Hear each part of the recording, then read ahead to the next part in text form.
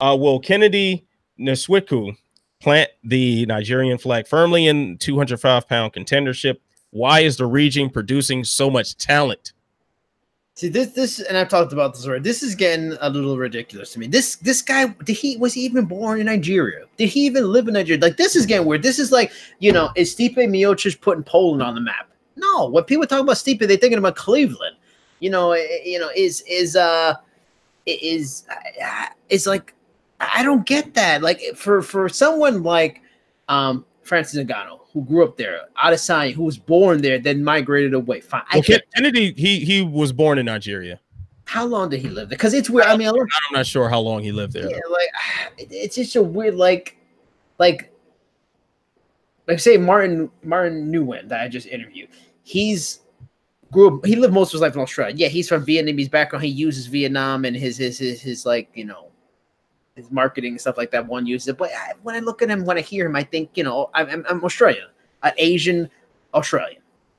Uh, so it, it, just it's a weird thing. I, I don't know if that's really putting Nigeria on the map. I know you have roots there, but could he? He's probably yeah. He could probably plant his flag flag at 205. Is he planting the Nigerian flag at 205? I'm not sure. But that said, in a lot of poor countries in the world where people have to strive to get a meal, there's talent there. Manny Pacquiao, we're talking about that.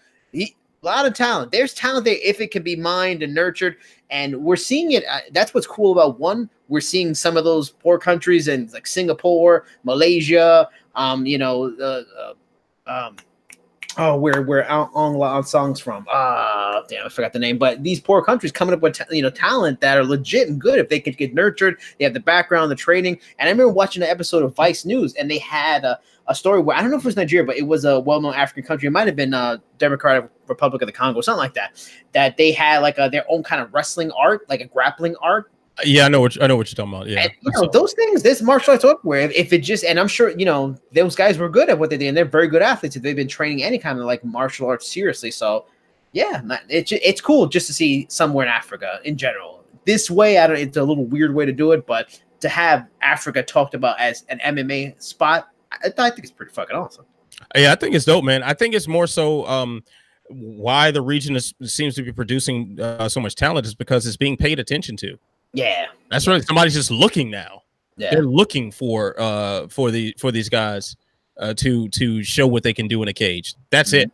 You know, the talent has been there. The talent has always been there. We've seen other sports go to Africa to find talent. Mm-hmm. I uh growing up in the DC area remember very clearly when Manute Bol yep. was 7-7 Yep. Uh, and I forget what what exact country he came from and what the name of his tribe and stuff was, but it was like this uh, a whole tribe of guys that were like over seven feet tall, and they mm-hmm. found mm-hmm. the tallest one there, and they said, "Hey, uh, we're going to teach you how to play basketball, and we're going to pay you a lot of money."